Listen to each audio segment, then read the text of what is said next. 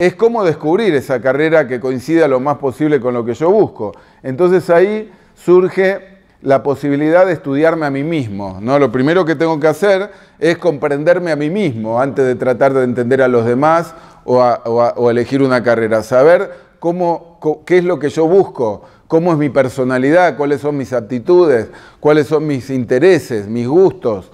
¿no? Entonces ahí viene la ayuda que te puede dar un orientador vocacional o que te puede dar un test, un test como nosotros tenemos ahí en la página, test gratuitos o en la guía del estudiante en formato papel, ¿no? un test donde este, pueda definir cuáles son tus aptitudes e intereses y en base a eso, a ese mix de lo que a mí me gustaría hacer y también de las facilidades que tengo para determinadas actividades, lo que se llaman las, para lo cual soy más inteligente, no las inteligencias múltiples. Por ejemplo, hay gente que dice que eh, eh, tenemos aptitudes especiales en determinadas áreas, nadie es inteligente para todo. Entonces es importante que mediante un proceso de orientación vocacional que ustedes pueden hacer aquí mismo en Salta, o un test, o todas las herramientas de ayuda complementarias te puedan servir para saber cuáles son tus intereses y aptitudes. Y así, de acuerdo a mis inteligencias, me va a corresponder un grupo de carreras. ¿Está claro hasta ahí?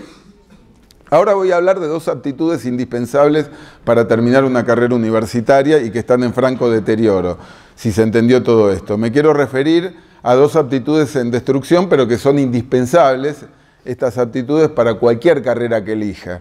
¿no? Y estas aptitudes que se están deteriorando cada vez más es a causa fundamentalmente de la adicción ¿no? Como ustedes imaginarán, a las tecnologías. Tenemos un grave problema porque la tecnología el Internet, estar permanentemente online nos ayuda mucho, pero a la vez nos perjudica mucho. Y quiero hablar especialmente del principal perjuicio que representa la adicción a la tecnología.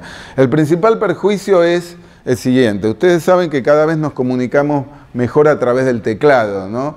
Eh, en otros aspectos de la vida sucede lo mismo. Vos vas a ver que hay gente que te dice cosas muy lindas a través del WhatsApp pero una vez que a esa persona la tenés frente tuyo, pobre es una momia que no sabe, no, sabe expresar sus sentimientos. Tal vez lo sepa expresar a través del WhatsApp, pero no en vivo y en directo. Ese drama que tenemos a nivel emocional, por la adicción a las tecnologías, también se da en las aulas, ¿no? El alumno que cada vez tiene más problemas para la expresión verbal. Entonces, eh, la aptitud verbal está en franco deterioro. Y yo les digo que es muy importante la aptitud verbal, porque yo no sé si, cuando vos te recibas y tengas un título universitario vas a poder ser rica o rico y famoso. Lo que sí te puedo asegurar que vas a tener que dirigir gente. Y la gente no solo se dirige por grupos de WhatsApp, sino que se dirige también eh, a través de la palabra. Hay mucha conflictividad en las empresas, en las instituciones, por un mal manejo de la palabra, de la expresión verbal. ¿No es cierto? Entonces la actitud verbal, que está en franco deterioro, porque cada vez estamos más conectados con el teclado o con el teléfono y menos conectados en forma personal, provoca un deterioro que lo podemos ver claramente ¿Por qué les hablo de esto? No por, con la intención de darles un sermón, sino de decirles que en los exámenes orales la mayoría de los chicos fracasa en primer año porque no tiene buena expresión verbal, expresión oral. Entonces, ¿qué pasa? Fíjense el estudio que hizo la Universidad Nacional del Litoral. ¿no? Este, hay eh, un marcado aumento de la frecuencia cardíaca y respiratoria y la presión sanguínea en un estudiante cuando está acá frente a una mesa de examen y tiene que dar el examen oral, ¿no? Y ahí fracasa, aunque haya estudiado mucho. Entonces, eh, la adicción a la tecnología nos provoca ese problema. ¿Cómo resolvemos este problema?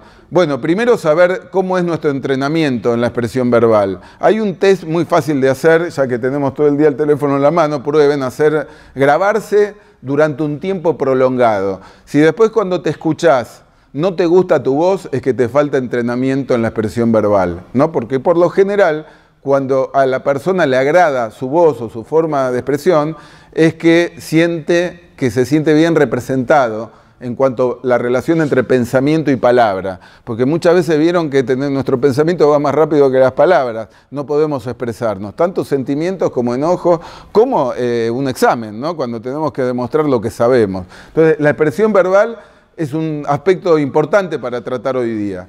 La otra cuestión importante que hay que entrenar, además de la expresión verbal, de la aptitud verbal, para poder rendir bien un examen, es eh, la lectura, porque muchas veces pretendemos que, que, estamos leyendo mucho porque leemos de tablets, de teléfonos, y ahí hay otro error, porque el problema es que en la universidad también vamos a tener que acceder a textos que tienen cierta extensión. Y el teléfono, los tablets nos han provocado una costumbre eh, que es la degradación en la capacidad de la concentración. Estamos saltando permanentemente de un texto a otro. Entonces nos cuesta mucho elaborar o, tomar eh, pensamiento abstracto sobre un texto de cierta extensión. Entonces ahí viene otro problema, el entrenamiento en la lectura. Bueno, estas dos cuestiones son fundamentales para, para poder eh, ir eh, superando los exámenes y poder recibirme en tiempo y forma. Tómenlo en cuenta. Porque hoy día, yo no digo que la herramienta de Internet eh, no, no, es útil, al contrario, es fabuloso. Hoy tenemos un acceso a la información increíble que en otra época a lo mejor teníamos que ir a, archivos, a bibliotecas, a lugares muy especializados y no todo el mundo tenía acceso. Hoy tenemos mucho acceso a la información, a tal punto que hoy lo más barato es acceder a la información.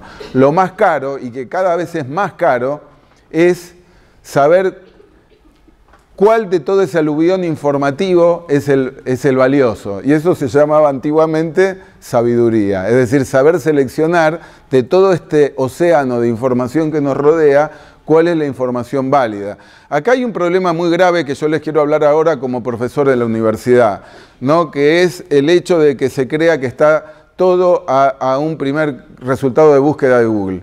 Ustedes saben lo que es el posicionamiento orgánico, ¿verdad? O posicionamiento SEO.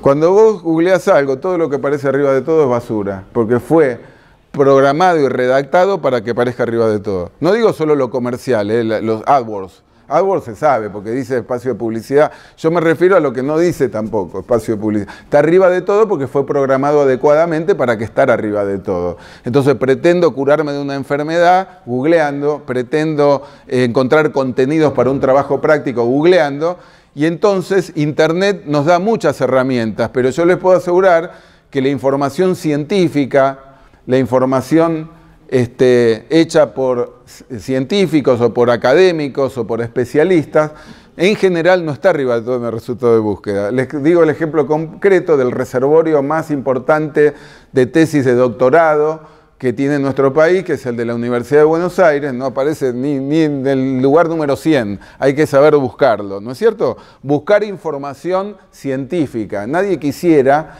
ir a un odontólogo o a un cirujano y que el tipo esté con un bisturí en la mano y en el otro googleando a ver cómo se resuelven los problemas. Les puedo asegurar que en muchos casos sucede esta cuestión, ¿no? Se cometen muchos errores porque, claro, vos sabés cuál es la diferencia entre un texto científico o académico que un blog lo puede hacer cualquiera, relativamente cualquiera. Entonces cualquiera puede subir información que posicione arriba de todo, ¿no es cierto? Cualquier persona. Yo me puedo poner a hablar de ingeniería nuclear, armar un blog y programarlo de manera tal que aparezca arriba de todo, ¿no? Y es todo mentira lo que pongo. ¿No? O, no, o no necesariamente mentira, sino que no tengo la capacitación necesaria científica para poder eh, dar información a los demás. Entonces, muy importante la cuestión de la información. Hoy que tenemos un aluvión informativo. Les menciono esto porque a veces hasta es más fácil. Miren qué, qué cuestión rara. A veces un libro producido por una editorial científica nos garantiza que esa información es válida. Y mucha información que aparece en, en Internet son blogs que no sabemos quién es el autor y si es válido ese dato. Entonces es muy importante tener en cuenta esto, la selección de la información. Bueno, fíjense lo que pasa con este aluvión informativo impresionante. Tenemos 12.196 carreras para elegir en la Argentina. En la época mía era mucho menor la, cantidad de carreras, en la época de tus abuelos había una docena de carreras para elegir, ingeniero, médico, abogado, contador. Hoy tenemos más de 12.000 carreras, de las cuales 5.500 son carreras largas que ustedes pueden elegir ahora al terminar la secundaria, ¿no es cierto? Hay 2.700 carreras cortas, de corta duración, de manera tal que ustedes entre carreras largas y carreras cortas hay como 8.000 opciones para elegir, que están todas cargadas en la página estudios.com.ar o guía del estudiante.com.ar. Pueden compararlas, observarlas en forma sin, sin ningún tipo de problema. Pero la cuestión es que al tener tanta cantidad de carreras para elegir, aparece la dificultad. Cuando tengo muchas